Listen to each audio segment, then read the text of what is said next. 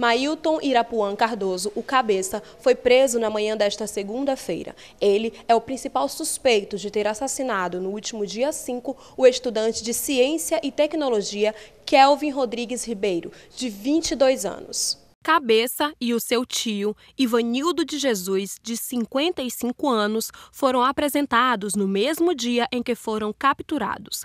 Ele, que é assassino confesso, responderá pelo crime de latrocínio e o seu tio por favorecimento pessoal, por ter abrigado o criminoso em sua casa.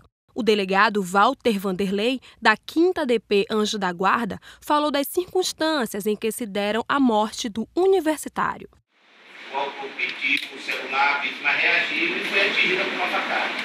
Ela foi atingida pela frente com uma, uma arma branca, uma faca.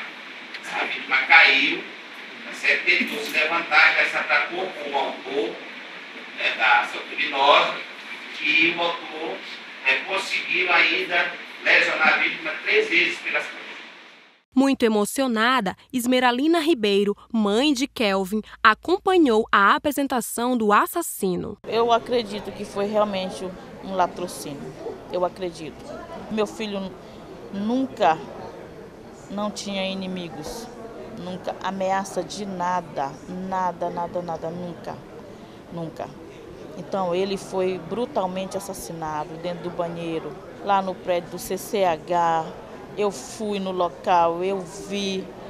Não sei como é que ele foi atraído para aquele lugar. Não vou descansar. Eu tenho que ter muita força. Muita força para que pode passar 10 anos, 15 anos, 20 anos, não sei quantos anos vai passar, porque nós sabemos que a justiça é lenta. Mas vai acontecer. Nós temos que fazer acontecer para que um outro jovem não venha ter essa fatalidade como meu filho teve? É, inicialmente nós é, queremos dizer que nós estamos consternados, né? Estamos muito tristes com, com o ocorrido. É, eu estive acompanhando desde sexta-feira, saí daqui já por volta de meia-noite. Né? Tivemos é, no velório, fomos ao sepultamento do, do jovem, né, que foi assassinado aqui nas dependências da universidade. Então, no momento de dar o apoio para a família, Algumas medidas já estão sendo tomadas pela reitoria da Universidade Federal do Maranhão, em conjunto com a Secretaria de Segurança Pública do Estado. Um acordo foi firmado e a presença de policiais militares farão parte do dia a dia do campus. É, nós acabamos de assinar o convênio com a Polícia Militar. Esse convênio ele traz no seu corpo né, já qual é a função da Polícia Militar dentro da universidade, que vai realizar um policiamento ostensivo e preventivo nas áreas da instituição, havendo necessidade em um flagrante, ela vai autuar o flagrante.